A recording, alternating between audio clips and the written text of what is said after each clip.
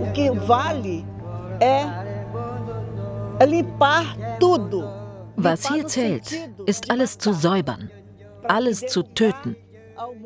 Für diesen monströsen Stausee, um diese schmutzige, mörderische Energie zu produzieren. Auf Kosten der indigenen Völker, des Waldes und des Flusses Xingu.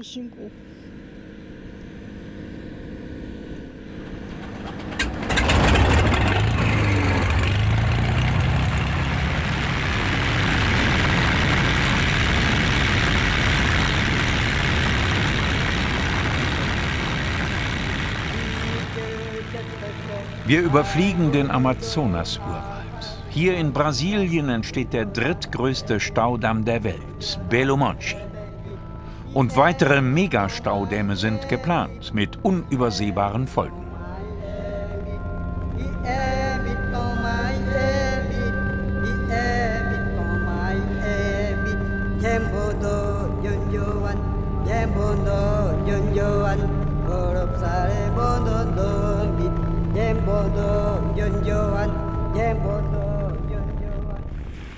Januar 2016. Wir sind unterwegs auf dem Xingu, einem der großen Nebenflüsse des Amazonas. Unser Ziel eine von zwei Staumauern des Megastaudamms Belo Monte. Wir begleiten Antonia und Elena von der lokalen Protestbewegung Xingu Vivo. Sie berichten, dass der Xingu seit November 2015 aufgestaut wird, ohne abschließende Umweltgutachten und mit drastischen Folgen. Fische treiben bäuchlings im Wasser, verenden. Seit der einst reißende Xingu zu einem stillen See aufgestaut wird, fehlt ihnen Sauerstoff. Das wollen wir dokumentieren.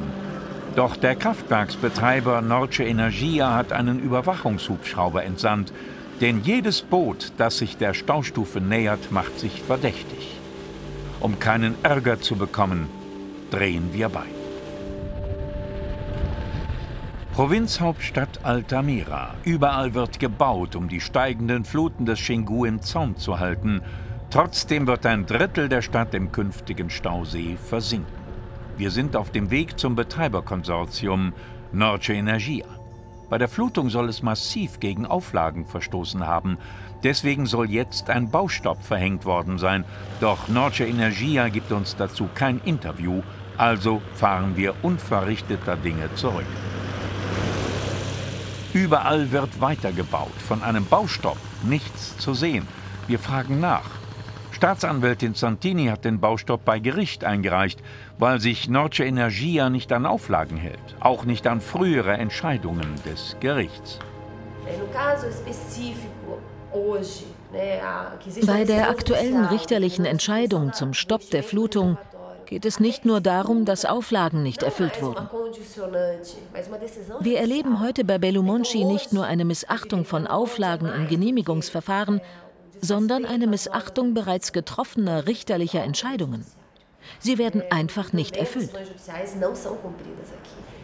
Wir fahren ins indigenen Dorf Moratu, das langsam zur Steinwüste wird, denn das Wasser des Xingu wird hier für Belomonchi abgezweigt.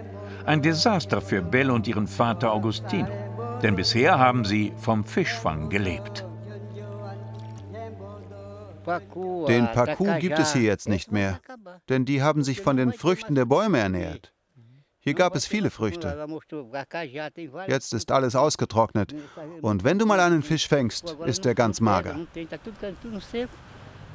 Schon jetzt zieht sich der Xingu zurück. Dabei soll noch weit mehr Wasser abgezweigt werden für Belomonchi.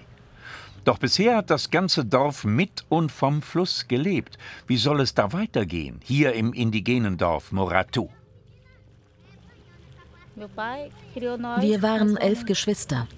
Unser Vater hat uns ohne Probleme aufgezogen, denn die Natur hat alles Nötige zur Verfügung gestellt. Das hat dieser Ort hier ermöglicht. Heute kann ich mir das gar nicht mehr vorstellen für meine vier Kinder. Seit Belo Monte. Ich muss deren Zukunft jetzt planen als Nicht-Indigene, damit sie studieren um später eine Arbeit zu finden.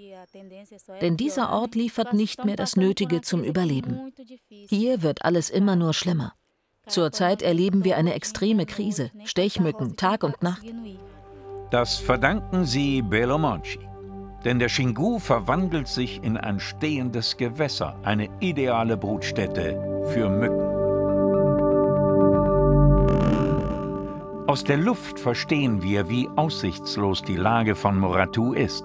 Denn das Wasser des Xingu wird umgeleitet in einen Kanal für Belomonchi, den drittgrößten Staudamm der Welt. Bis zu 11.000 Megawatt Strom im Jahr soll er liefern, das größte Bauprojekt Brasiliens. Am nächsten Tag sind wir unterwegs mit Don Erwin Kreutler, dem katholischen Bischof von Altamira.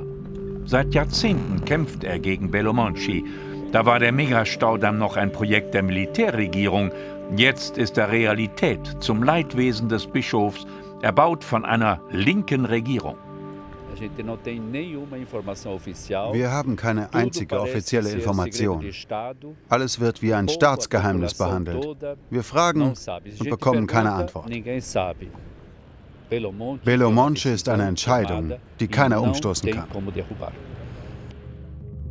Rückblende. Präsidentschaftswahlkampf 2014. Präsidentin Dilma Rousseff besucht Belo Monte.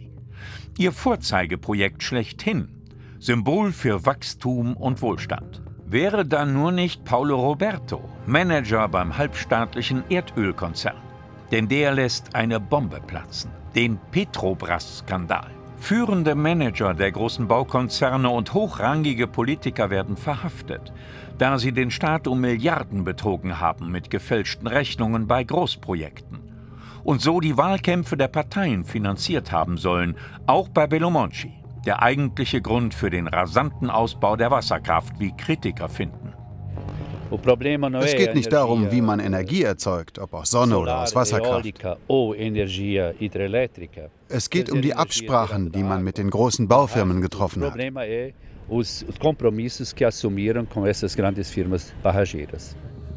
Wir fliegen nach Rio de Janeiro. Dort wird überall gebaut für die Olympischen Sommerspiele im August 2016.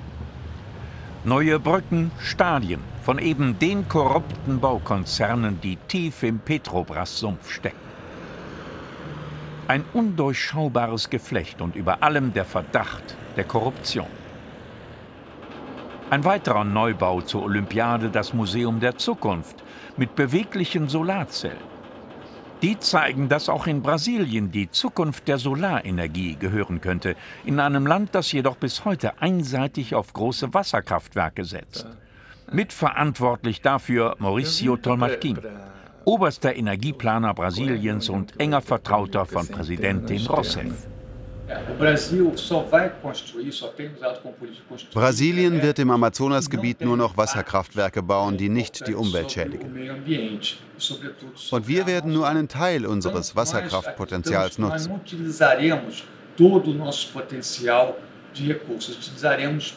Wir nutzen zurzeit nur ein Drittel unseres Potenzials. Ein weiteres Drittel werden wir erschließen. Das restliche Drittel nicht.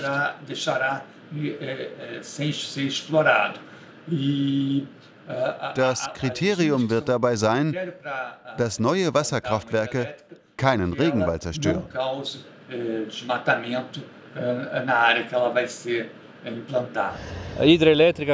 Alle Wasserkraftwerke verursachen Umweltschäden. Das ist doch absurd, wenn er in seiner Position dies bestreitet. In Brasilien heißt es, einer, der so redet, will den Stier zum Einschlafen bringen. Zurück in Altamira. Wir haben uns mit Antonia Melo vom Bürgerbündnis Xingo Vivo verabredet. Sie will uns zeigen, wo ihr Haus stand. Ein schönes Ziegelhaus mit einem verwunschenen Garten. 35 Jahre hat sie darin gelebt. Jetzt ist alles plattgewalzt, wegen Belomonchi. Ein Schicksal, das sie mit 40.000 Menschen am Xingu teilt. Wenn du dein Heim aufgeben musst. Das neue Haus kann das Beste der Welt sein. Doch nichts ist mehr wie früher. Diese Projekte sind sehr gewalttätig. Sie versuchen, die Menschen klein zu kriegen, ihre Identität zu zerstören. Deswegen musst du versuchen, stark zu bleiben, weiterzukämpfen, um deine Identität nicht zu verlieren. Para que essa identidade não seja perdida.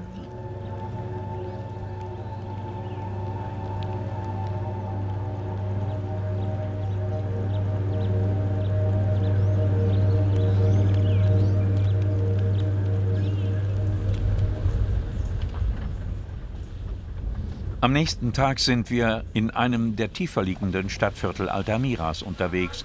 400 Familien leben hier, massiv durch die Flutung des Xingu bedroht. Schon ein einziger Regen setzt hier alles unter Wasser. Das Wasser kommt bis hierher? Ja, bis hierher.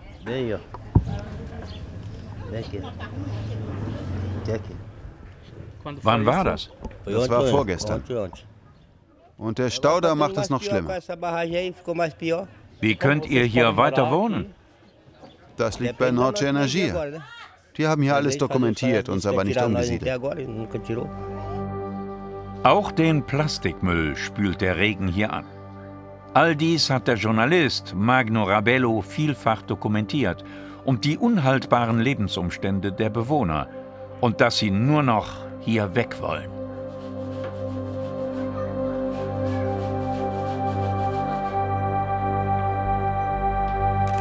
Wir haben schon zahlreiche Artikel in unserer Zeitung veröffentlicht. Doch Norte Energia lässt das vollkommen kalt. Die interessiert nicht, wie die Menschen hier leben. Da kann man nur sagen, die haben kein Herz. Inzwischen hat sich auch die Staatsanwaltschaft eingeschaltet, doch der Xingu steigt und die Gefahr. Hier gibt es eine riesige Schlange. Sie war schon zweimal hier und hat die Katze gefressen. Wir haben die Feuerwehr gerufen, da war sie schon weg. Doch ein Junge hat sie gefilmt. Sie ist 10 bis 12 Meter lang, eine wahre Riesenschlange.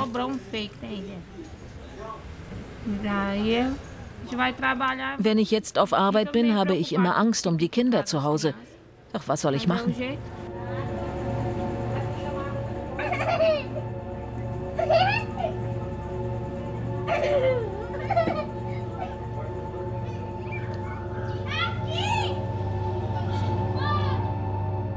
Am nächsten Tag erreicht uns eine Nachricht. Ein oberster Bundesrichter hat den Baustopp für Belomonci für nichtig erklärt, gemäß eines Verfahrens aus Zeiten der Militärdiktatur.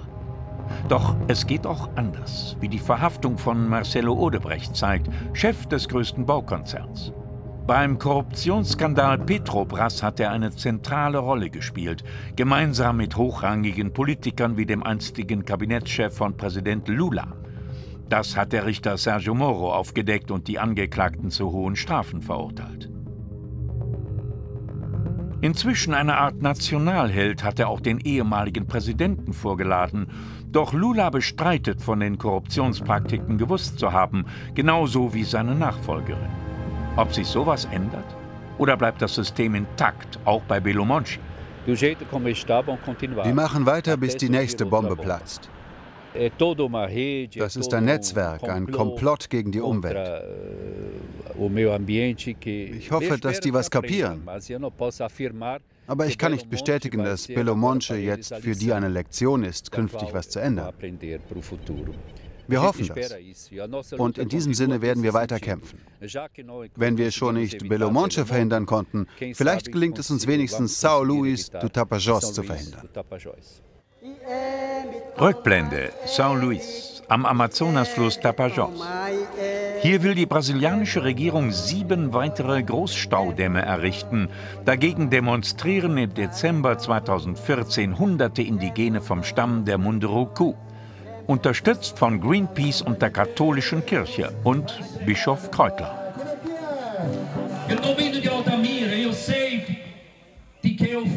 Ich komme aus Altamira, ich weiß, wovon ich rede. Die Völker vom Tapajós und Xingu werden diesen Großprojekten unterworfen mit fürchterlichen Konsequenzen. Und häufig bedeutet es das Ende dieser Völker. Sowohl das physische als auch das kulturelle Ende. Auf der Protestversammlung erinnert auch Staatsanwalt Felicio Pontes an die Missachtung indigener Verfassungsrechte, bereits bei den Vorstudien zum Bau der Großstaudämme am Tapajós. Kein einziger Mitarbeiter dieser Studien hätte dieses indigene Gebiet betreten dürfen, ohne vorherige Konsultation. Das heißt, die Entscheidung in 2011, hier ein Wasserkraftwerk zu errichten, wurde getroffen, ohne das Konsultationsrecht der Indigenen zu respektieren.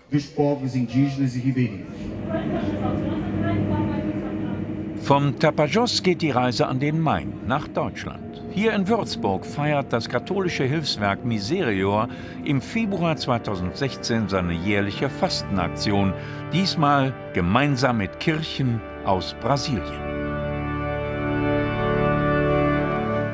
Auch Bischof Kreutler ist angereist, denn im Zentrum des Gottesdienstes steht der Widerstand gegen weitere Großstaudämme am Tapajos und die Forderung, dass sich europäische Firmen nicht länger am Bau der Megastaudämme in Amazonien beteiligen. Dass solche Projekte auf dem Schweiß und dem Blut anderer Menschen erstellt werden, daran denkt kein Mensch. Und da hat die Kirche die Aufgabe, die Aufgabe zu sagen, so geht es nicht. Und das sind Menschen, die berücksichtigt werden, die respektiert werden müssen. Das sind Rechte, die mit Füßen getreten werden. Und da können wir als europäische Firma nicht einfach sagen, das geht uns nicht an. Rückblende. Siemens Pressekonferenz Januar 2014. Siemens-Chef Käser und sein Finanzvorstand haben sich noch nie mit Kritikern wie Bischof Kreutler getroffen, obwohl sie Turbinen für Bellomonci liefern. Für sie zählt nur das Geschäft.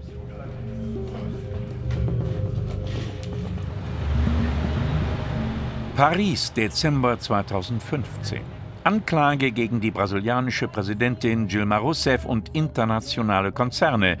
Deswegen ist Antonia Melu vom Xingu hierher gekommen, um vor dem Tribunal für die Rechte der Natur auszusagen, gegen die Präsidentin. Für die Verletzung von Menschen- und Umweltrechten bei Projekten wie Belo Monte gibt es Verantwortliche. Wir wollen Sie hier als Angeklagte vor diesem Tribunal sehen, damit Sie endlich bestraft werden. Auch Vertreter der Munduruku sind gekommen und der legendäre Häuptling Raoni. Die Regierung tötet unseren Fluss, unseren Wald.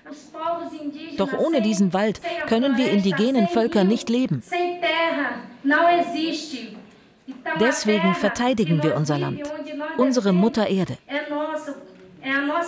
Denn sie garantiert das Überleben zukünftiger Generationen.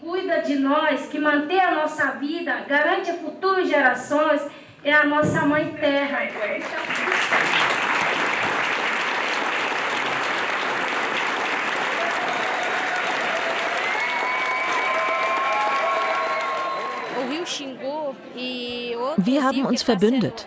Wir vom Xingu und den anderen Flüssen, die aufgestaut werden sollen, gegen die Regierung.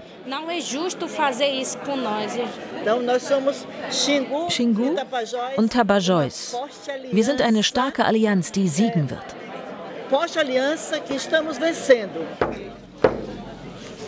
Gemeinsam unterzeichnen sie eine Erklärung, dass man Mutter Erde verteidigen wird. Zusammen mit den Munduruku vom Tapajos, gegen ein Wirtschaftssystem, das die Grundlagen des Lebens zerstört. Daher müssen wir weg vom industriellen hin zu einem ganzheitlichen Weltverständnis, sagen sie. Und dieser Prozess beginnt im Kopf und er wird zu einer Massenbewegung werden. Wichtig ist, dass dieser Prozess nicht zum Stillstand kommt. Das ist kein 10-Meter-Lauf, das ist ein Marathon. Wird die brasilianische Regierung ihre Energiepolitik ändern? Wir werden die brasilianische Regierung ändern. Das wird leichter sein, als die Energiepolitik unseres Landes zu ändern.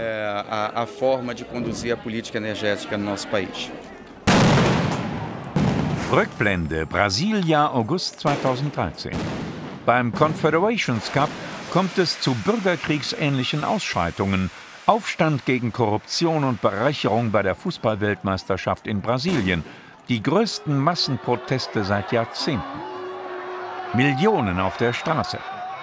Auch das Zentrum der Macht, der Kongress, wird besetzt.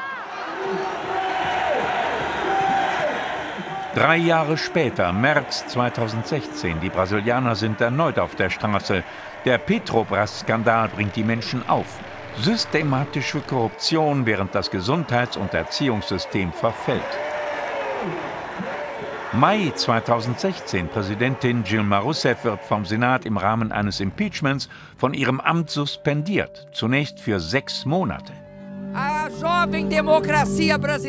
Die junge brasilianische Demokratie wird durch einen Staatsstreich erschüttert. Das ist ein Impeachment ohne Verbrechen.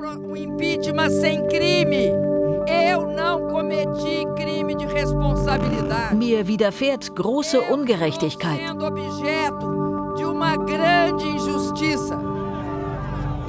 Die Präsidentin als Bauernopfer einer korrupten Elite und der bisherige Koalitionspartner übernimmt die Macht. Vizepräsident Michel Temer von der PMDB wird neuer Übergangspräsident.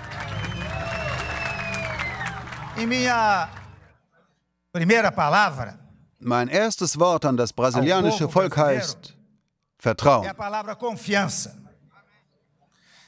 Confiança Vertrauen in die Werte, die unseren Charakter ausmachen. In die Vitalität unserer Demokratie.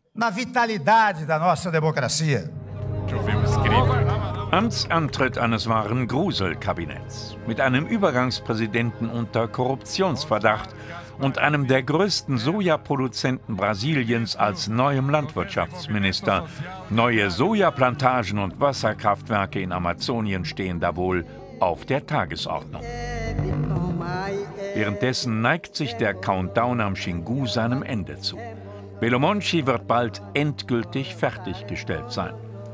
Doch der Kampf gegen die Zerstörung des Amazonas-Urwaldes geht weiter und er braucht weltweite Unterstützung. E quem vai combater eh, Wer all diese todbringenden Projekte bekämpfen wird, das sind die vereinten Völker unseres Planeten. Denn es kann nicht sein, dass man die Menschheit, den ganzen Planeten, das Leben zerstört, nur damit sich einige Kriminelle bereichern.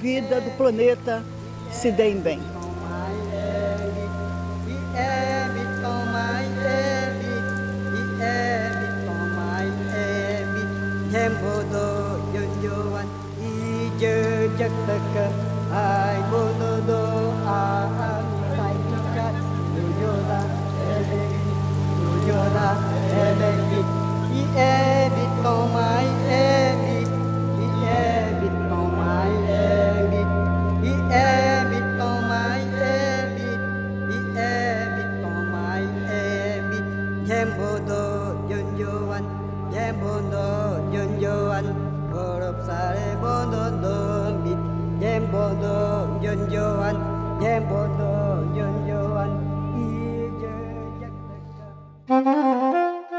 Fluss Xingu.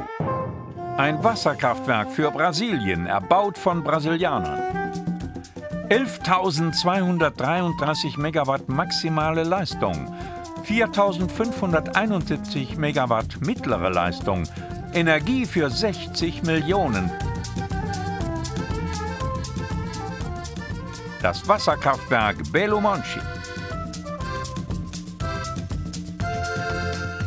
In einem offiziellen Video zur Einweihung von Belo Monchi wird der Bau des Megastaudamms gefeiert als nationale Großtat, die den Fortschritt bringt, geschnitten im Takt der brasilianischen Nationalhymne.